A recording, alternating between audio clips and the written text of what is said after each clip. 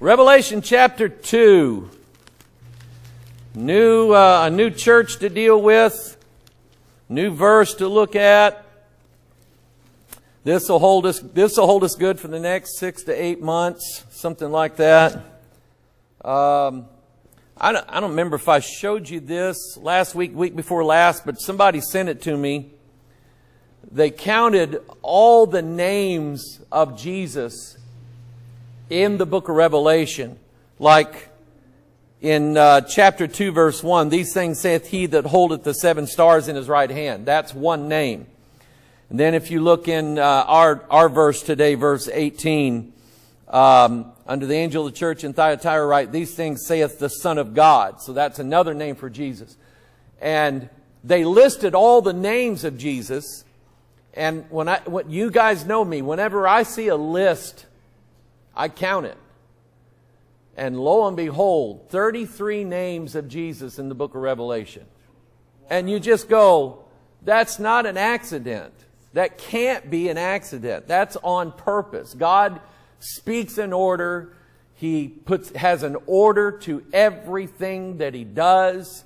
And I just, I love it. So, Revelation chapter 2 verse 18, unto the angel of the church in Thyatira write, these things saith the Son of God. Does the Son of, does his title Son of God, his name Son of God, does that make him God? Yes. I am a son of man. That means I'm a man. Okay? The Son of God means He's God, who hath eyes like unto a flame of fire, and His feet are like fine brass. Brass is a symbol of fire in the Bible. In fact, um, what was it that led Israel by night? Pillar of fire. When Moses made, when the, when the fiery serpents came and bit all the people, God told Moses to make a fiery serpent on a pole, and he made it out of brass. Brass is a symbol of fire. And if you look in like Revelation 10, which uh, my thing with Revelation 10 is I believe that it's Jesus. I think it has to be. I've been wrong before. But when you look at the description, I saw another mighty angel come down from heaven clothed with a cloud and a rainbow was upon his head and his face was as it were the sun. That's Jesus and his feet as pillars of fire. And here, in that verse, his feet are like fine brass. Well, brass is a picture of fire in the Bible. So I think there's a connection there. I won't get into all that, but anyway, that's what I think. Notice verse 19. I know thy works and charity and service and faith and thy patience and thy works now, I don't know why he mentions their works twice, but he does. And something to consider, and this is not really part of the lesson, but something to consider. There's two types of servants. And it doesn't matter if it's church, business, family, doesn't matter. Two types of people that, that work. Those who work to be seen, to be prized, to be rewarded, to be praised, and those who work because the work needs to be done. And you can keep the prizes, you can keep the awards, you can keep all that stuff. If somebody works for a company like, say, somebody works for McDonald's. Now, I'm not speaking out against McDonald's, but I'm not a McDonald's guy. I worked there two days, two weekends when I was in Nashville in Bible college, and that was not my thing in life to do. Praise God. But some people work there, they get a job there when they're teenagers, and they stay and they end up becoming franchise owners. And it's because they love the work, they love the company, they're dedicated to it, they're loyal to it, and that's just them. They don't want they don't want some big title. They don't they're not looking for that. It's just that's what they like to do. In the church. Again, two types of people that work. those who do things to be noticed. You know, some of these charitable organizations in town, they love to have this big check printed up where they're giving it to somebody, some organization, and there's a guy taking their picture to be put in the paper. Jesus says they've got their reward. They got their name and their picture in the paper, hoop-de-doo. Okay? When you work for the Lord, don't labor for the things that are temporal, which can be lost, even money. Money, and I think it's funny that on our money, dollar bill, there's an eagle on it with wings, and the Bible says that don't, you know, trust not in uncertain riches, for it groweth wings like an eagle and flies away. And that's exactly how it is. If you work to be credited, if you work for, if your goal is to make as much money as you can, it, that's your reward. And you're going to get it. And then when you die, you're going to lose every bit of it. Jesus told us to labor not for the things of this world, but labor for the things in heaven, where moth and rust won't corrupt it. it it'll still be there. And if nobody else knows that you did something, Jesus taught us about prayer. And he said, when you pray, don't go out in the street praying, showing everybody how big you can pray. Get in your closet and pray. And let me tell you something. I've done, I've literally done that literally got in the closet, shut the door to pray. And I'm telling you, God honors that. When you don't make a big deal about it, when you don't, when you fast and don't tell everybody, I'm fasting today. I'm being spiritual. I fast twice a week every, don't tell anybody. Because then you're doing it to be noticed. You're doing it so people can think you're really spiritual. And that's what some people do. Then there's always people who give and they don't want the attention. They don't want the praise. Some people, we have to, just so some people understand this, this is an Obama law. When Obama was president, he made it so that the IRS changed its rules. And if you gave any, if you gave an amount over $250 to a charitable organization, a form has to be filled out and sent in to them and to the IRS. And we have people that kind of get onto us saying, I don't want your form. Well, we have to send it. We'll get in trouble if we don't. It's by law, if you give any more than $250, we have to fill out a form and we have to send it to you. And it ties up. You just ask Rose about it. It ties her up and uh, at least one of the girls I know helps her work on that. And we got to send those out for every single donation above $250. It's ridiculous. And some people say, I don't want that. Well, we can't, we can't not send it to you. And some people say, well, I don't give to have that taken off my taxes. That's fine. I understand that. My thinking is, if the government doesn't supposed to get the money, I'm not donating it to them. That's my thinking. So I'm writing it off. Okay. Anyway, uh, but some people give and don't want their name associated with it. They don't want, they don't want their, their reward here. They want it when they get to heaven. And Jesus is saying, I watch your works. I know what you did, both good and bad. I know thy works. I know your charity. I know your service. And I know your faith. And I know your patience and your works. And the last to be more than the first. I know what kind of church you are. I'm the one who knows what's going on in your church. Now the praise is over with. Now he's got something serious to deal with. Good churches can always have something bad going on in it.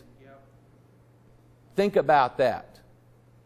Good churches can always have something bad going on in it. Um, I, if I remember right, there was one church out of these seven where Jesus didn't really condemn them in much.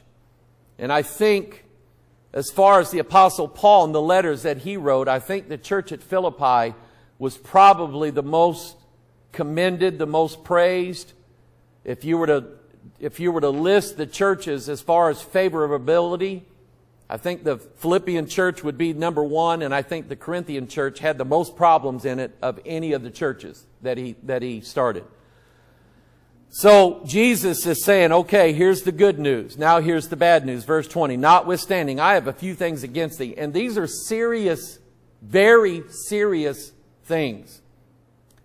Because thou sufferest, which means you allow that woman Jezebel. That's the title. Help me to remember that. That's going to be the title of the Sunday school message on sermon audio tomorrow. That woman Jezebel. Now, we don't know if there really was a woman in this church whose mother gave her the name Jezebel. I don't know of any girl or any woman whose mother named her Jezebel. I know some whose mother should have named them Jezebel. Okay? But I don't know of any. I, and whether this person really was called Jezebel or not, I don't know. But I think Jesus is naming this woman Jezebel. He's not giving her real name, but when he writes the letter to the church at Thyatira and the church at Thyatira reads it, I guarantee you everybody knew who Jesus was talking about. Guarantee you. That woman Jezebel, which calleth herself a prophetess to teach and to seduce my servants to commit fornication and to eat things sacrificed unto idols. Now, what, what is, help me out here. What are some of the problems that we already see in this, in this part of the text here? What's, what, what can we gain without looking at any other place in the Bible? What can we gain from why he has a problem with this woman Jezebel? Okay. First thing out of his mouth was, which calleth herself a prophetess. She was self appointed. Self appointed. She said, God called me to be a prophet. Now, um, hold your place there. And I don't have this in my notes, but turn to um, turn to second.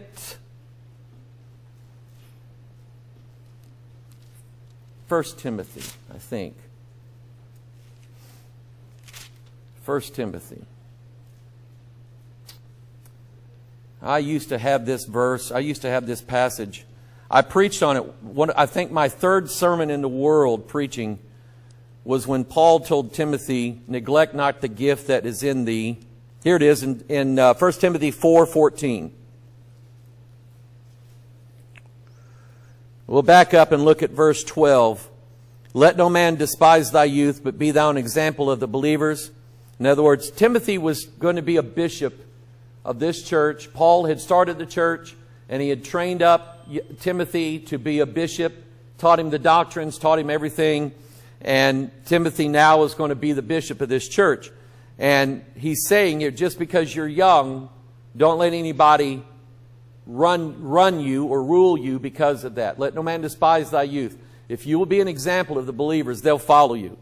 The right ones will. And he said, Be thou an example of the believers in word, in conversation, in charity, in spirit, in faith, in purity till I give, till I come, give attendance to reading, to exhortation, and to doctrine. Three primary functions of the bishop, the, the head bishop of a church, is that he is, he is to study the Word of God, he is to work on exhortation of the people and doctrine. He's to give himself to doctrine. Know the doctrines of the Bible. Know what you believe in. Know what the Bible says. And then he says in verse 14, neglect not the gift that is in thee, which was given thee by prophecy with the laying on of the hands of the presbytery. Now, does, that mean that we should be Presbyterians? No. Presbytery means the elders, the, and it's the elder men. So, Brother Sterling, Brother Joe, these elder men that they're on our board of trustees. Sterling is a deacon. And this church and I rely on them to help steer and guide this vessel. Okay? And it's not just a one man show. It's not me just saying this is how we're going to do it. The presbytery were the elder men of the church who, as Timothy is going to be ordained to be a bishop, then I'm not sure what Paul's process was, but let me tell you about mine. And I believe in this. Um, when, when we were part of a denomination, this is how they did it. But with us not being in a denomination, we still do it this way. If someone says, I think God's called me to be a preacher, or God's called me to be a deacon, or I think God's called me to be this or be that. Bible says make your calling and election sure. Okay? That was the advice given to me by Pastor Goff when I came to this altar and I said, I think God's called me to preach.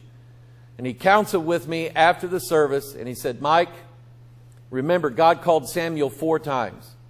And he said, I he said, I'd rather God call me four times and then know that God called me than think he called me and get into it and find out God didn't call me. Because it's a big mistake.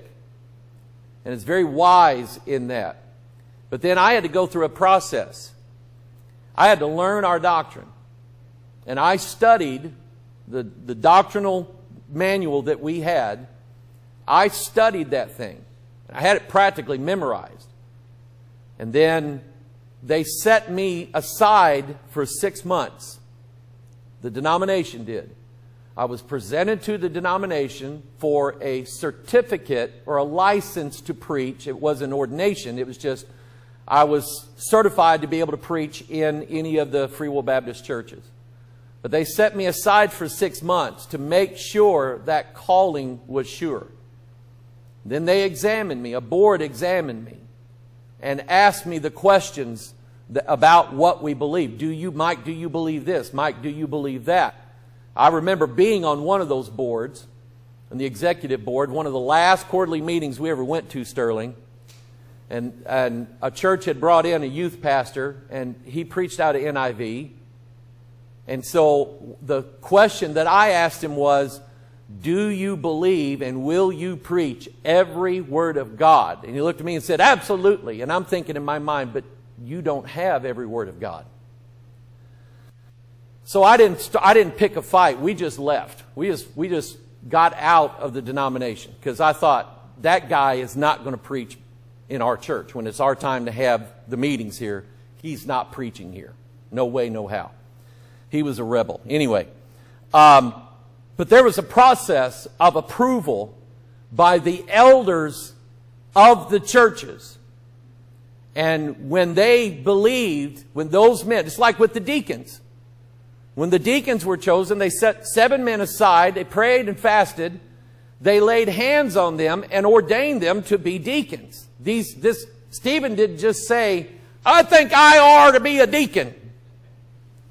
It, it's not done that way. And yet, a lot of like non-denominational, especially charismatic churches are done that way. Joyce Meyer's so-called calling to the ministry and salvation, according to her, was she didn't go to the altar and ask God to save her. She was driving in her car and saw a vision of Jesus and she's lost at that time and he calls her to the ministry. That doesn't sound anything like the way I was saved. Nothing like it. And she's still, if you ask my opinion, she's still operating in witchcraft. She is Jezebel. Self appointed, self called. That's the first big problem. So, Paul said to Timothy, uh, neglect not the gift that is in thee, which was given thee by prophecy. In other words, Timothy heard the preaching of God's word was, and from a, we know from a child, Timothy knew the Holy Scriptures. And so the prophecy of the Word of God is what led to the calling of Timothy. But then the approval of the presbytery, laying on of hands, giving him the gift, the responsibility, and the stewardship of being their bishop. So, who anointed and who appointed Jezebel? Nobody. Jesus said she calls herself a prophetess. And no one appointed her, anointed her, laid hands on her, nothing. She just started taking over. I have a pastor friend that last time I was at his church, he called me aside. And uh, he said, I got a problem with a guy. He said, he just showed up here he said he had been to several churches. He shows up here and he is constantly wanting me to turn him loose with a Bible study. And he said, I don't trust the guy. The people in the church don't trust him. He's all the time sitting in Sunday school trying to correct the Sunday school teacher. And he said, I don't know how to, and he said he don't believe the King James.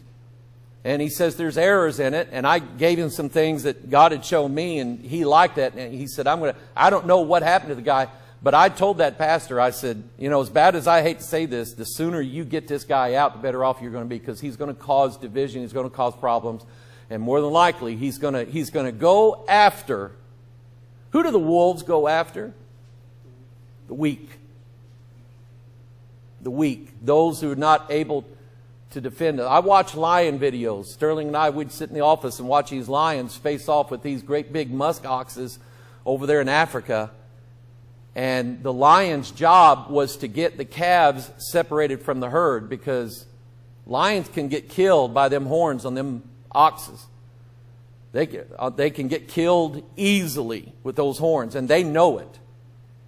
And so they're not going to attack a herd of ox with their horns sticking out. They're not going to go after that herd. They're going to try to get the weakest one separated. That's going to be the supper. And that's how false prophets, false teachers, false believers in a church will work. We had a situation here years ago where a guy and his wife came, and um, I won't tell you the whole story, but he was a really good musician. He played, I mean, he played the organ like, I've never seen anybody play the organ that well. I mean, he just went all over it. And he said something to me about starting a praise band. And I said, well, I said, let me, let me think about that and pray about it. Three weeks later, I get a phone call from somebody in this church saying, um, Pastor, I think I need to tell you this. I'm leaving this guy's house, and he's got several people in the church practicing for a praise band. And I said, Do what? She said, You didn't know about it? I said, No, I didn't know about it. She said, I didn't feel right about it. There was something in me that just didn't feel right about it. And she said, I felt like I needed to call you and ask you if you knew about this. And I said, No, but I appreciate your call. You know what? He didn't show up the next Sunday or any Sunday thereafter. I never had a, I never had a work, never had a conversation with him. He never called me and asked. I never wrote him, called him, nothing. He just boom. As soon as he was found out, he quit. Okay? I'm telling you, that's how it starts. That's how Jezebel, and we're going to study Jezebel for a little bit. That's her modus operandi. That's her script. That's how she does things. Thou sufferest that woman Jezebel, which calleth herself a prophetess, to teach, seduce my servants to commit fornication, to eat things sacrificed unto idols. Okay, problem number one. Let's turn to 1 Kings 16. Let's look at Jezebel, the real Jezebel, whom she was named after. 1 Kings 16. Turn there. I don't know if somebody was trying to get my attention about something. 1 Kings 16, verse 30. This is the introduction of Jezebel. She's going to equal Remember, everybody plays a type in the Bible. When you have a woman, you have a picture of a type of a church, and she's either going to be a, a pure church or a harlot church. A church that goes after other gods. And trust me, they're everywhere. 1 Kings 16:30 And Ahab the son of Omri did evil in the sight of the Lord above all that were before him. And it came to pass, as if it had been a light thing for him to walk in the sins of Jeroboam the son of Nebat, that he took to wife Jezebel, the daughter of Ethbaal, Ethbaal, king of the Zidonians. Now, anytime you have Baal or Bel in a name, it's Baal. Okay? Um, Jeremiah 50 talks about Bel, B E L. That's Baal. That's the Babylonian form of the word Baal. Baal is the Antichrist. He is the devil. He is um, the spirit of Antichrist. And so Ahab married the daughter of the Antichrist, basically. It's who he married. Took to wife Jezebel, the daughter of Ethbaal, king of the Zidonians, and went, and lo and behold, who's he serving now? Baal. How did that happen? He married her. He married the spirit of Baal, because that's who she had in her. And went and served Baal and worshiped him. And he reared up an altar for Baal in the house of Baal, which he had built in Samaria. And Ahab made a grove. And Ahab did more to provoke the Lord God of Israel to anger than all the kings of Israel that were before him. Ahab was at the top of God's evil list. And when you look, if you do a study of, do a study of Ahab, even though Ahab does more evil than all of the kings before him put together, you can kind of see that Ahab has somewhat of a conscience. Because when he wants the vineyard of Naboth, he doesn't just take it. He asks, Naboth, can I have your vineyard? I'll give you a better vineyard or I'll give you the worth in money. And when Naboth said, God forbid it, I cannot sell you my vineyard, I must, I, got, I received it from my forefathers. I have to hand it down to my firstborn son. So I'm sorry, but you can't have my vineyard. Ahab didn't just kill him and take it. He went and laid down in bed and boohooed like a little baby, cried, and was going to let that go until Jezebel showed up. Aren't you the king? Are you going to cry like a baby? Aren't you the king? You want the, you want the vineyard? I'll get it for you. See, that's her role. Devil hates this church. He hates what we do. He hates who we serve. He hates what we believe. And we're always going to be a target. Always. This is, at times I will say, you people need to quit coming here. Because you're going to be a target as long as I'm a target, you're a target. And that bothers me. I see the devil going after my family. That bothers me. I see the devil going after people in my church. It bothers me. And I almost sometimes want to run everybody off so you don't get bothered anymore. That's just sometimes how I feel. I don't really want you to run off. But I want the devil to leave you alone. And so that's Jezebel. Ahab at least had, I think, somewhat of a conscience, but every time he did, Jezebel flew into a rage. Look in uh, 1 Kings 18.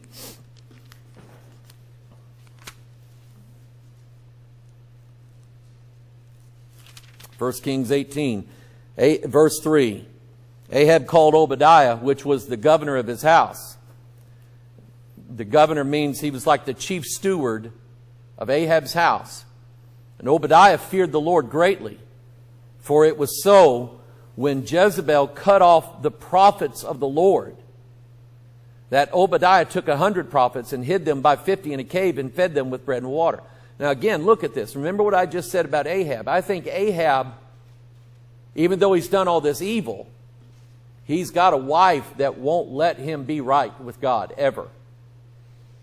And he's got Obadiah, his chief steward, the top man in Ahab's house, who fears the Lord and probably can like say things to Ahab that nobody else can say.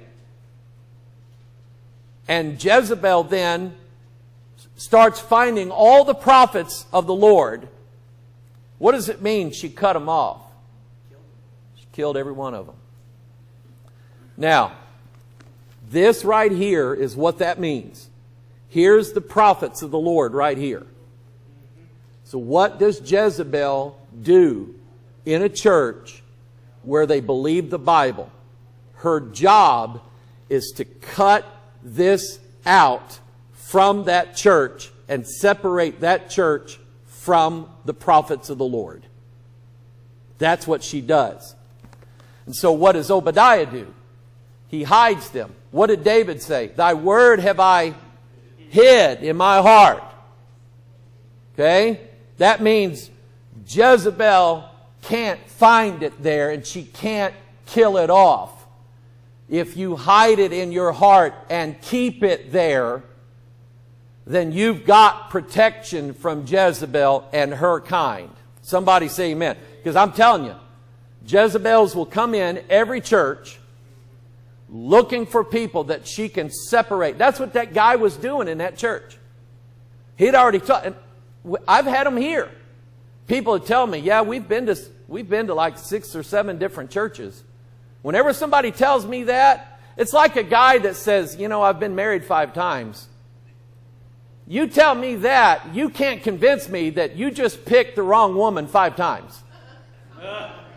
You can't convince me of that one. Okay? What happened was five women figured you out quick and got rid of you. And when you tell me you've been in five or six different churches, then they start saying, you know, Brother Mike, at these other churches, we used to do things like this. Then go back over there and do that. Okay? I'm just telling you, that's how they work. She cuts off the prophets of the Lord. She's the one, her spirit, Babylon, is the one responsible for removing all these words and all these verses out of the modern translations. Replacing the Greek text with corrupted Greek text. That's her. But she's still got some Obadiahs around that'll hide it to where she can't kill it all off. Amen? Uh, 1 Kings 18, 19. Now therefore send and gather to me all Israel into Mount Carmel, and the prophets of Baal 450, and the prophets of the groves 400, which eat at Jezebel's table. And let me tell you, here's what I get out of this. Jezebel takes very good care of her preachers.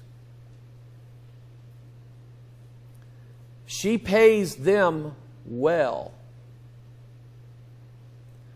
She feeds them. They eat from her table, which means basically they're her boys. And I imagine Jezebel probably wasn't a very chaste wife. She probably knew a lot of these guys. Okay? But they all ate at her table. And I've I've been in the ministry and I've been tempted to sit at Jezebel's table and be in the ministry for the money. I wanted to climb the denominational ladder. I wanted their approval. I wanted all of that. And God beat me severely over that. But I, I know preachers. I almost. I, I, went to I went to Bible college with a guy who had his career all laid out. He was going to get in the ministry, he was going to pastor this, and then he was going to move up, and he was going to write books and get published and have his name out there, and blah, blah, blah, blah, blah. That's what he told me he was going to do. I don't know where the guy is now, but that's what he told me. And I'm telling you, there are guys in the ministry and women. It's all about the money. It's all about the name. It's all about their popularity. It's all about getting their cube sold. You know what I'm talking about? The Joel Osteen Inspiration Cube. That's all about Joel Osteen. There's nothing in there about Jesus, nothing about salvation, nothing about warning about hell, because he doesn't even use the word in his sermons. So anyway, that's Jezebel and her exploits. You're getting a, a, a, glimpse. When Jesus called this woman Jezebel, that's what he was referring to. She's that type of woman. And Jesus was warning this church at Thyatira, you get her out, or you won't have a church in a year's time. Get her out. Father, we ask your blessings on your word. Father, I've dealt with Jezebel multiple times, been like Elijah after winning the victory, running off and saying, Lord, it is enough, take away my life. I hate dealing with her. I hate standing up against her because there's always victims. And I pray, dear God, Lord, that you would bless this church. Keep us, Father, keep us Jezebel free. Keep each one of us, Father, each one of us Jezebel free so that we don't have to take the warning from you that you gave to this church at Thyatira.